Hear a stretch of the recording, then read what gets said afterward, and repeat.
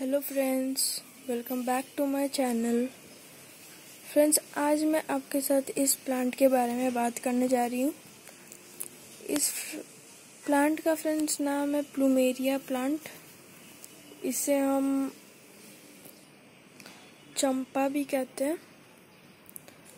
Friends इसे grow करने का सही टाइम है फेब्रुवरी से लेकर के आप इसको अप्रैल तक ग्रो कर सकते हैं। ये फ्रेंड्स गर्मी का प्लांट है और इसमें वाइट कलर के फ्लावर्स आते हैं। स्मेल भी काफ़ी अच्छा होता है। तो अब हम बात करते हैं इसके सॉइल के बारे में।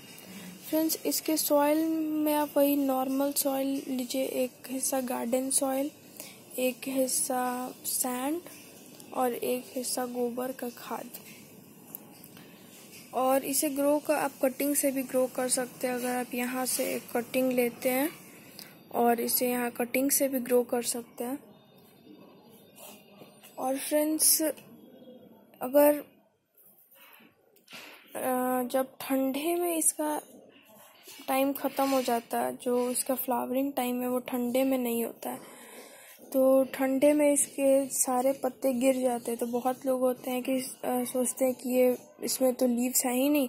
तो ये अब प्लांट ख़राब हो चुका है तो इसे फेंक देते लेकिन ऐसा नहीं है। ये ठंडे में अपने सारे लीव्स को गिरा देता है। लेकिन फिर गर्मी आते आते फेबरवरी, मार्च, अप्रैल तक फिर से इसमें लीव्स आ जाते हैं और अप्रैल, मई, जून सब में फ्लावरिंग इसकी होती है। तो फ्रेंड्स सबसे पहले हम बात करते हैं कि इसके जो सॉइल है, इसको आप ज़्यादा पानी ना दें। इसको क्योंकि इसे मॉइस्चर चाहिए बट उसको सॉगी ना करें। सिर्फ़ इसको मॉइस्चर कह रही अभी देखिए, जैसा कि इसमें मॉइस्चर है बट ज़्यादा पानी नहीं होना चाहिए इसकी मिट्टी में। और फ्रेंड्स और फ्रेंड्स अगर आप ज़्यादा पानी इसे देने लगेंगे तो ये यहाँ से ग्रीन होना शुरू हो जाता है, जो कि ये साइन है इसका कि ये अब नीचे से गलना शुरू हो गया है। तो अगर आपके प्लांट में ऐसा होता है तो आप इसे क्या करिए कि यहाँ, मान लीजिए कि यहाँ पर अगर ग्रीन हो रहा है तो यहाँ से इसे कट कर दीजिए और इसे दूसरा कटिंग ग्रो कर लीजिए। इसलिए मैं कहती हूँ इसे ज़्यादा पानी नहीं चाहिए। और बहुत लोग होते हैं, कहते हैं कि इसका फ्लावरिंग टाइम आ गया है लेकिन इसमें फ्लावर्स तो आ ही नहीं रहे हैं ग्रोथ अच्छा है, नहीं फ्लावरिंग नहीं आ रहा। तो फ्रेंड्स जब इसका फ्लावरिंग टाइम आता है तो इसको एक्स्ट्रा फ़ूड चाहिए। एक्स्ट्रा फ़ूड चाहिए होता है। तो एक्स्ट्रा फ़ूड के लिए आप इसमें बोन मिल डाल देंगे तो सबसे अच्छा होगा। बोन मिल इसके लिए काफ़ी अच्छा होता है। और अगर नहीं तो इसमें केले के छिलके का पाउडर बना के वो भी डाल सकते हैं। वो भी इसके लिए काफ़ी अच्छा होता है। और अगर नहीं तो जब आप इसे लगाते हैं तो नीचे में पहले सॉयल रख दिया।